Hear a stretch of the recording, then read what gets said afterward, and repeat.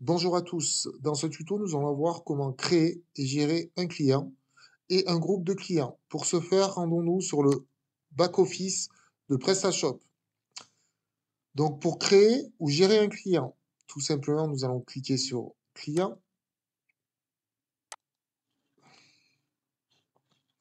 Nous allons pouvoir maintenant, si on nous demande de créer un nouveau client, cliquer sur Ajouter un nouveau client. Donc, je vais dire que c'est Monsieur Hugo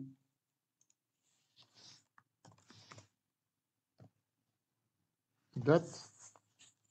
Email. Donc client on va dire que c'est hd@gmail.com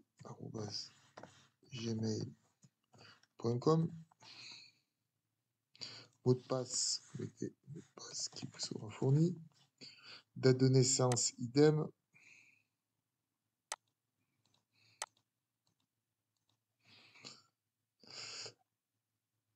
autoriser ce client ou non à se connecter, ben, de préférence, laisser sur oui.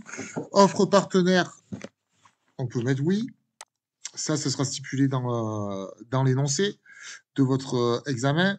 Ensuite, accès au groupe. Ben, vous pouvez, euh, donc, est-ce que le client apparaît dans tous les groupes? Est-ce que le client apparaît que dans les groupes visiteurs, etc., etc. Ça, ça sera dit par l'énoncé. Là, nous, ce qu'on va dire, on va dire qu'il est dans le groupe client. Ensuite, nous allons pouvoir enregistrer. Et votre client est créé. OK. Ensuite, petite subtilité au niveau de la gestion des clients. Regardez, vous allez pouvoir classer les clients en fonction, par exemple, en cliquant sur l'onglet Vente, de ceux qui ont dépensé le plus d'argent chez nous.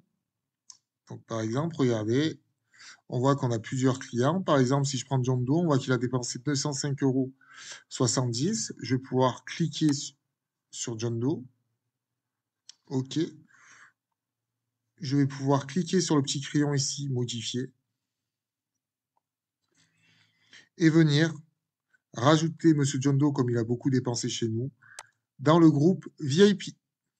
Et je clique ensuite sur enregistrer. Nous pouvons également, si je reclique sur le petit crayon, venir modifier si on a fait une faute son nom, ou modifier l'adresse mail si son adresse mail a changé, etc. etc.